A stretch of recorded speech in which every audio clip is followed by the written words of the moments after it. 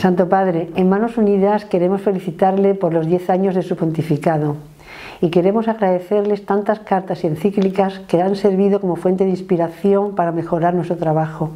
De corazón, muchas felicidades. En América Latina estamos de fiesta. El Papa Francisco está festejando su décimo año. El catolicismo está de fiesta.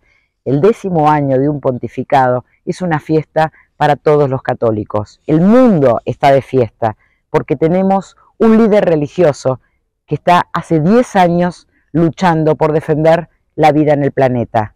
El cielo está de fiesta porque el Papa Francisco ha sacado su iglesia a la calle para que caminemos todos juntos. Gracias, Papa Francisco.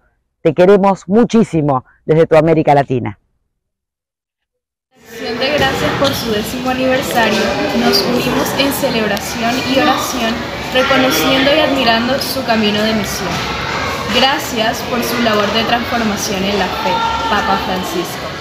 Le deseamos las más grandes bendiciones desde el Colegio Santa Teresita de Barranquilla Felicitaciones. Eh, querido y admirado obispo de Roma Francisco, auguri, felicidades en tu décimo aniversario diseñando esa iglesia en salida sinodal samaritana en este mundo quebrado y apasionante. Con todo el cariño, Nicolás Castellanos Franco, obispo emérito de Palencia, misionero en Bolivia. Diez años ya. ¿Cómo pasa el tiempo, Santo Padre? Qué bien supo elegir Dios los brazos que serían capaces de acoger, de amar, de proteger, de disipar dudas. Qué bien lo hizo. Gracias por todo, por muchas cosas, por sus palabras, por sus detalles, por sus gestos, por sus miradas, por sus buenos ratos.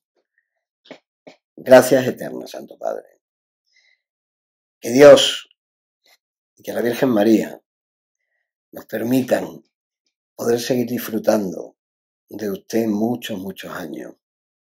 Porque si hay algo que esta iglesia necesita, se llama Papa Francisco. Un abrazo enorme, amigo, enorme. De parte del programa de Becas Providencial, les enviamos un gran saludo y un fuerte abrazo. ¡El Santo! En nombre de toda la vida consagrada en España, de la CONFER, Quiero expresar un mensaje de agradecimiento a nuestro querido Papa Francisco con motivo del décimo aniversario de su pontificado.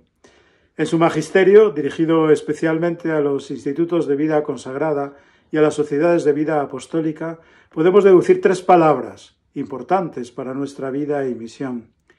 Mística, profecía y comunión. La mística como sabiduría para la vida, aquella que sabe nutrirse de la presencia de Dios en el mundo y de su encarnación. Esta sabiduría nos acerca a la ternura de Dios y a su cuidado. La profecía, para ser audaces y valientes en nuestro compromiso actual con los principales desafíos del presente, sin olvidar nunca a los más pobres y descartados. La comunión, una vivencia comprometida de sinodalidad y fraternidad que la vida consagrada pueda aportar con gran riqueza al conjunto de la Iglesia y del mundo. Gracias de corazón, Papa Francisco, por su valentía en el empeño de abrir nuevos procesos renovadores en la Iglesia y también por su entrega y testimonio de vida evangélica como fiel seguidor de Jesús. Cuente siempre con nuestro apoyo, cariño y oración.